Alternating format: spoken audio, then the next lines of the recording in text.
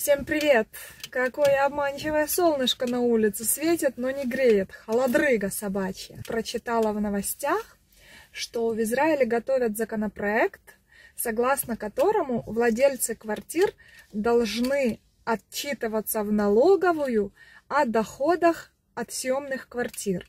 И если раньше там был ограничен потолок, то есть там была сумма, с которой надо было уже отчитываться, и она была 5400 шекелей.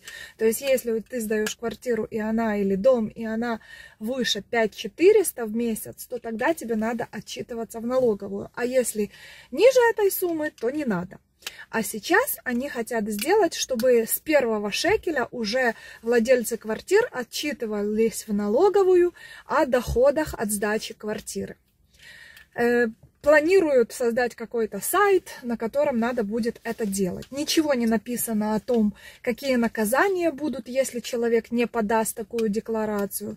Но что я хочу сказать, вот прочитав эту новость и со своего опыта работы в недвижимости, я могу сказать одно. Хозяин практически не один, из своего кармана ничего не заплатит. Просто поднимется еще аренда. Вот и все. И такая реформа может э, многих других людей, а, скажем так, особенно инвесторов, мне кажется, таких небольших инвесторов, еще больше отпугнуть от покупки квартиры, потому что это еще дополнительный расход, нафиг это типа надо. То есть э, просто менее привлекательным становится желание купить квартиру. Хотя понятно, что покупать будут, потому что у всех тут много детей, и детям надо помочь и купить, и т.д. и т.п. Но, с другой стороны, вот это, что именно там, неважно, какую то квартирку сдаешь, даже маленькую какую-то за 2000, не знаю, там, э, купил ее для детей на будущее, чтобы была, и тут на тебе давай. Очень такое двуякое мнение у меня о этом законопроекте. И тут вот, особенно после этого землетрясения, которое произошло в Турции, понимаешь, что в Израиле так много старых домов, и если, не дай бог, что-то подобное произойдет в Израиле, то жертв будет очень много, потому что у нас очень много домов, постройки там, не знаю, 50-х, 60-х годов, которые не выдержат ни одно землетрясение. И вот над этим действительно как-то надо работать и максимально быстро продвигать законопроекты там, по сносу старых домов, по их укреплению, как-то, не знаю, мотивировать чем-то людей, что ли, которые живут в этих старых домах, или застройщиков, которые возьмутся за проект, за укрепление или снос этого дома.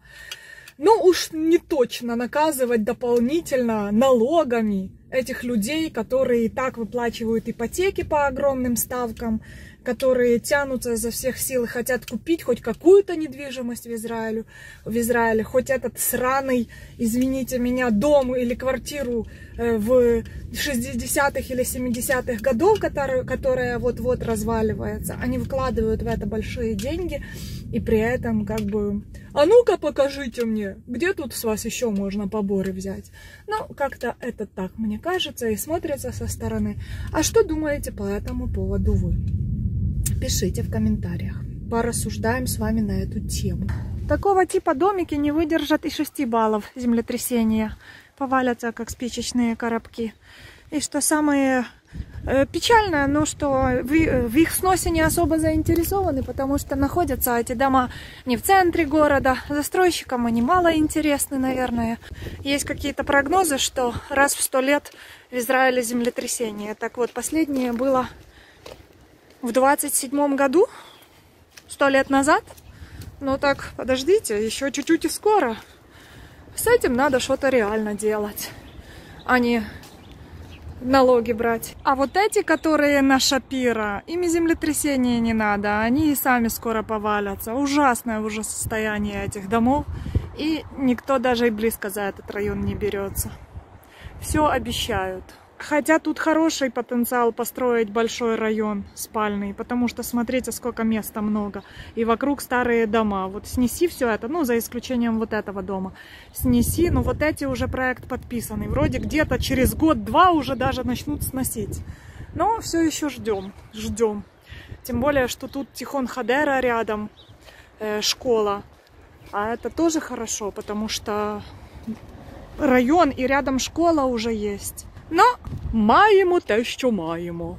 Не могу не поделиться такой красотой. Такие вот конверты из Укрпочты мне подарили. Херсонце Україна. Но з Новим роком конвертик. Зброя перемоги Хаймарс. С Рождеством и Крымский мост. Шикарно. Просто супер. Буду это хранить для своих детей и внуков. Идем тут, значит, с школы. Лежит рюкзак. Понятно, что кто-то с детей его потерял. Не знаю, каким боком. Но если бы это было где-то в центре города, уже бы вызвали саперов. Леруш, не подходи! Мне страшно. И приехал бы робот, проверял, нет ли там взрывчатки. Потому что в Израиле с таким дела серьезно обстоят. Я не знаю, в таком случае надо звонить в муниципалитет и говорить, что есть неопознанный объект, или как это, подозрительный предмет. Неопознанный, да. Опознанный, но подозрительный.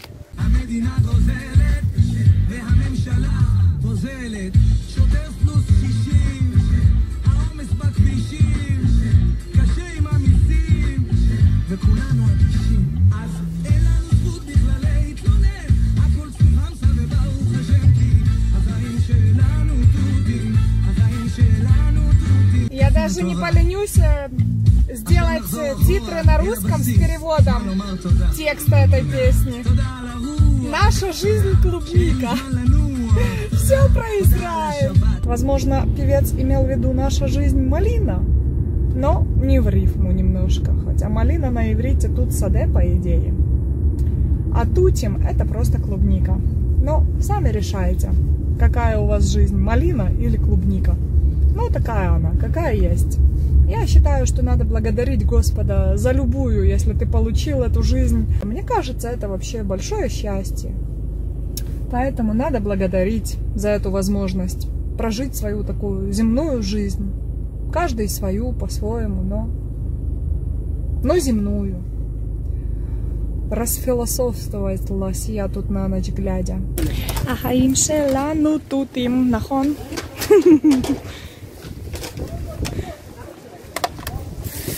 Вкусняшка. Под этим видео оставлю ссылку на эту песню, а также перевод на русский язык. И пусть она будет вашим гимном. Как бы в жизни не было тяжело, наша жизнь прекрасна. Помните это. Всем хорошего вечера. И пока-пока. Встретимся в следующих видео.